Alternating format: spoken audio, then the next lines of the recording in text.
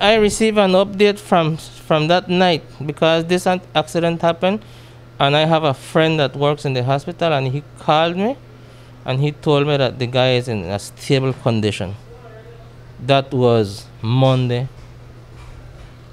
Monday night, and today we got a call from from Hernan Arturo Godoy mother, and he told she told us that he told my wife that he's already at his home resting.